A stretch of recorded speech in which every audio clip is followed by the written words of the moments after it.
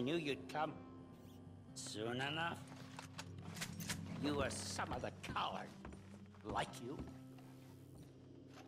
The bounty hunters, the freedmen, the carpetbaggers, the army of criminals who stole our land and our government. I survived them all.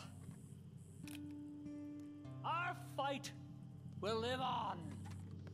Jesus.